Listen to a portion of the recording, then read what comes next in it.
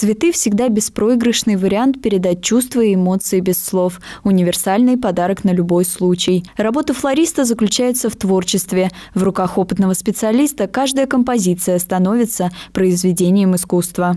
Стать флористом это не так и сложно. Главное, чтобы было желание и хоть какой-то минимум вкуса и понимания сочетания цветовой гаммы и цветов. Профессии флориста нет места шаблонам и правилам. Каждый букет уникален. Специалист создает его, ориентируясь на пол, возраст и интересы получателя, пожелания заказчика. Правил точных нету.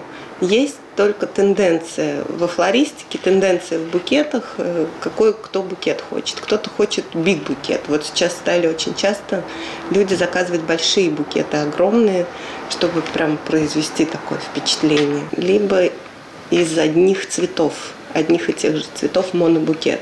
Либо из одного цвета цветов, либо из одного вида цветов. Последние несколько лет популярны букеты из пионов, ромашек, гортензии и гипсофилы.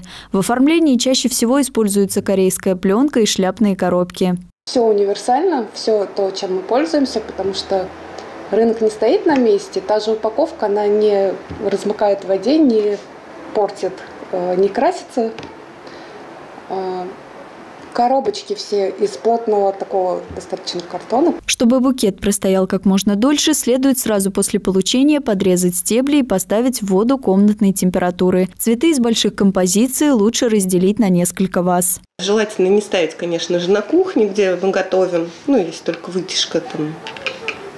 Ну, не рядом с плитой, это однозначно. И подальше от батарей ну и не на прямых солнечных лучах. По словам флористов, при соблюдении этих простых правил букет простоит не меньше недели. Правильно подобрать и преподнести безупречную композицию помогут в творческой мастерской галерея цветов. Проспект Ленина, 22. Телефон 7 77 88.